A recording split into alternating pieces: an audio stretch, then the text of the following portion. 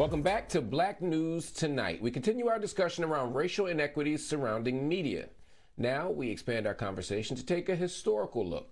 The new book, Journalism and Jim Crow, describes the years after the Civil War when white newspapers in the South helped build white supremacist social orders using the tools of racial terror. The authors go on to detail how black journalists fight back, demanding that the United States live up to its founding democratic ideals.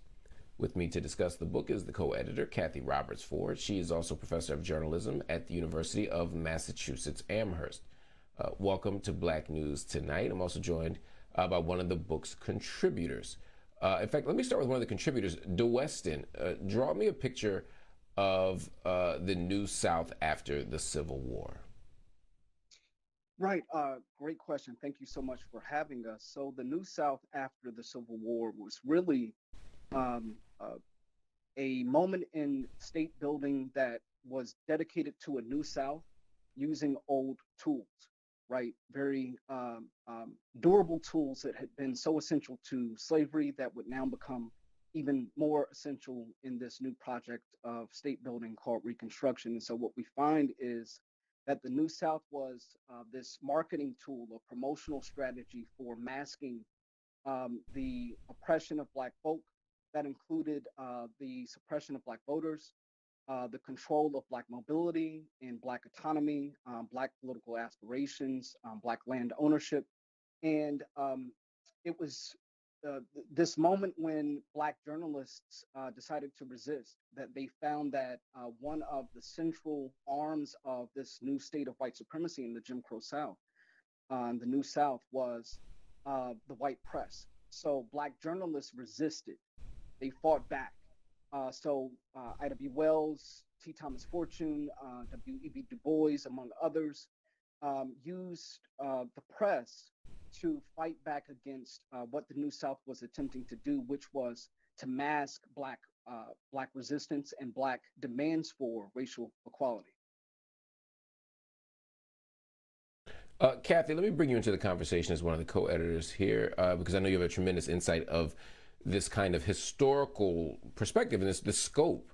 Uh, what were the role of white newspapers in building this new South? They were absolutely essential. Uh, so, in the South, uh, post Reconstruction, what we have is newspaper editors who, white newspaper editors, who were joining forces with business leaders, political leaders in the Democratic Party, which was then the party of white supremacy. And post Reconstruction, what they were involved with was figuring out how to rebuild a racial hierarchy in the South. And in building that racial hierarchy, they were interested in pulling back power from um, Black and white Republicans who were cooperating with one another during Reconstruction. They were interested in um, over time in the 1880s and 1890s in uh, quashing Black economic power and political power by disenfranchising Black voters.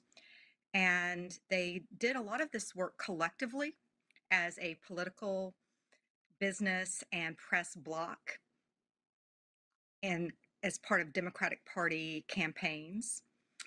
And uh, they were not shy or afraid to use racial terror as a tool. Wow, that's terrifying, but absolutely accurate. Uh, D'Weston, let me also obviously talk about black journalists uh, because what I want to understand better is what their reaction was to what was happening in that in that historical moment. Right. So uh, one of the promotional tools of the New South was this term New South, and there were a number of uh, white journalists and editors who were using this term freely to describe what was happening, right? So the black press, again, these these people I've named, Ida B. Wells, W.E.B. Du Bois, among others, who said, you know, we're we're not interested in a new South, we're interested in in a new America. Uh, why are we committing ourselves to rebuilding things as they were when we could build something entirely new, right? Um, and and so one thing that the, the book does uh, is fantastic, right? That um, it, it reveals journalism as as a, a, body of knowledge and as a professional practice that was steeped in um, you know pri- providing a framework for white supremacy. And so black journalists work to call white journalists out on the carpet right? To call them out and say what exactly it was that they were doing precisely that they were invested in uh, rebuilding things as they were, as Kathy mentioned, these racial hierarchies that had helped sustain slavery, which would become instrumental to this new moment of state building in the New South. Uh, so you have Black journalists who were putting their lives on the line, literally, uh, to to make these these claims to expose white supremacy for what it was, and they were doing it in the aims of creating a new America, a truly democratic state. I mean, that, that's fascinating, right? Because I think sometimes the general public will think about media, journalism, uh, etc., as sort of neutral spaces or objective spaces that simply are um, there to document politics, document history, document state projects, as opposed to playing a role in the formation of these various state projects or being arms or apparatuses of the state itself. Uh, Kathy, it's not that that stuff is only happening in the past, though uh, right wing media uh, has attempted to overturn the results of a secure and fair election just two years ago. Uh, it's very much an old play from an old playbook. Uh, and you describe that play in detail. Can you help us understand what that play and playbook is? Absolutely. That's so well said. Uh, so let's think of 1875 in Mississippi there is a white editor by the name of Ethelbert Barksdale of the Jackson Clarion, the most powerful, influential white newspaper in the state of Mississippi at that time. And this is, of course, toward the end of Reconstruction. And Ethelbert Barksdale is also a key leader in the Democratic Party. And so he and his Democratic cronies um, took up a plan to wrest power from the Republican Party, which is, of course, uh, the party of Lincoln, and in order to take back power, they devise uh, what's called the Mississippi Plan of 1875. And it's essentially a plan of racial terror and voter intimidation and um, an effort to steal the upcoming election so that the Democrats can take power back in the state of Mississippi and erect white supremacy, which is exactly what they do.